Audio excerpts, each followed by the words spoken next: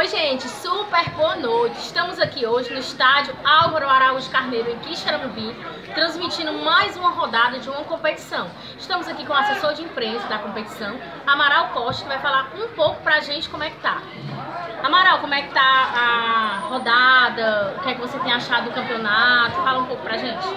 Boa noite, Cecília. Boa noite a todos que sempre acompanham o trabalho do Atacarejão, bem como a equipe do HMA Eventos é hoje segunda rodada, as equipes já entraram a primeira, o Fortaleza já perdeu para a equipe do Monte Alegre, 2 a 0. Estão agora a Ponte Preta enfrentando o Cruzeiro da Pompeia. Mesmo com o tempo de chuva, a torcida tem prestigiado. Está sendo um campeonato bem valorizado, até porque é uma coisa independente, particular.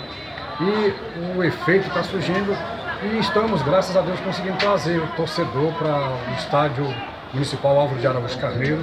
Agradecemos aos apoiadores e sempre a toda essa torcida que nos traz a prestigiar o bom futebol, como também os bons jogadores que aí estão se enfrentando na partida de número 4 da primeira Copa Cidade de Futebol de Xaramim. E a previsão? São quantas rodadas ao, ao todo?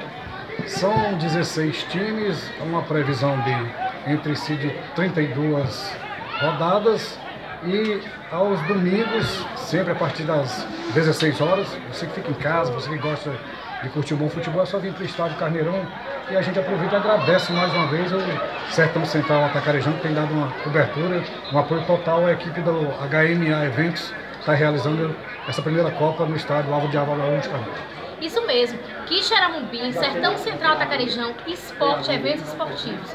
Combina com você.